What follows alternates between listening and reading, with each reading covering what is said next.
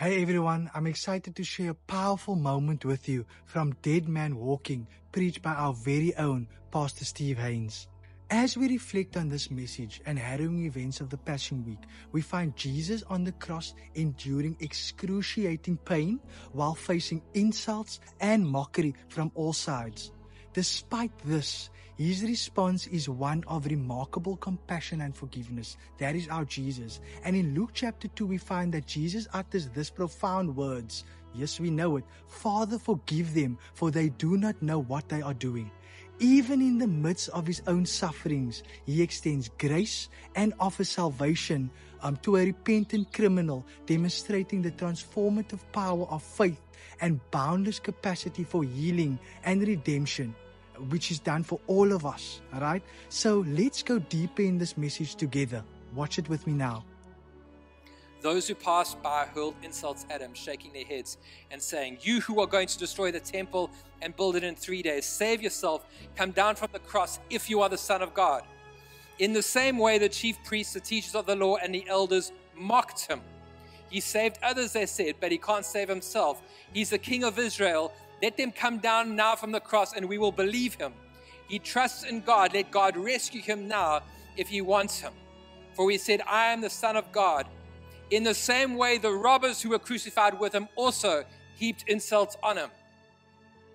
Jesus on the cross, excruciating pain, disciples deserted him, has passers by insulting him, has the elders of the city and the chief priests mocking him the Roman guards mocking him. And on top of that, the guys being crucified with him are mocking him.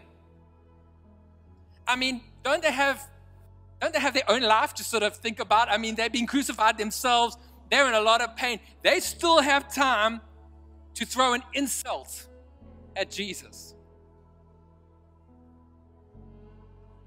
He's in this place of absolute torment. And Jesus' response in Luke 22 Father, forgive them, for they do not know what they are doing. And Luke's account of one of the robbers, robber says, Jesus, remember me when you come into your kingdom. Jesus answered him, I tell you the truth, today you will be with me in paradise. In the midst of the insults, in the midst of everything that he was going through, Jesus was looking after his family. He was forgiving people. He was saving people. In fact, Jesus, in facing man's absolute depravity in the Passion Week that we're looking at, in facing the worst side of humankind, he demonstrates God's absolute majesty. Preach it, Pastor Steve, right? What a moment. I'm sure that spoke to your heart after watching that. You probably have your own personal nuggets to take home with you. Come on, you must. That was profound. So before we conclude this message today, I want to invite you to take a moment with me. If what you've seen today has stirred something within you, if you feel a tug at your heart, that's your heart, I encourage you to take a step of faith with me today.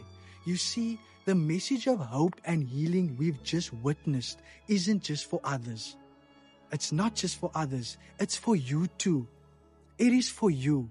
If you're ready to experience the transformative power of God's love in your life, I invite you to pray with me. Simply repeat the simple prayer with me in your own words or silently in your heart. Let's pray.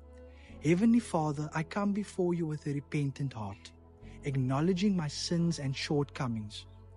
I recognize that without you, I am lost in the need of redemption.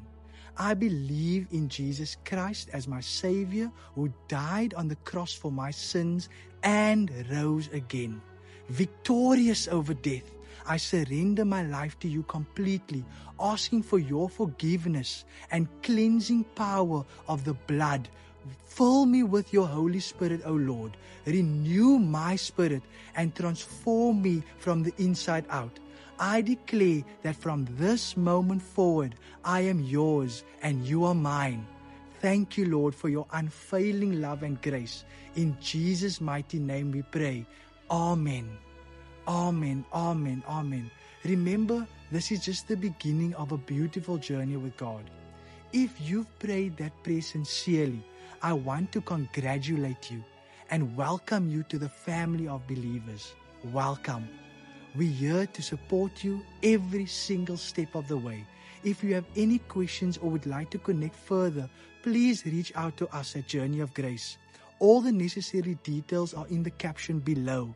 May God bless you abundantly as you walk in His love and grace. Have a wonderful day. We hope to hear from you soon. Goodbye.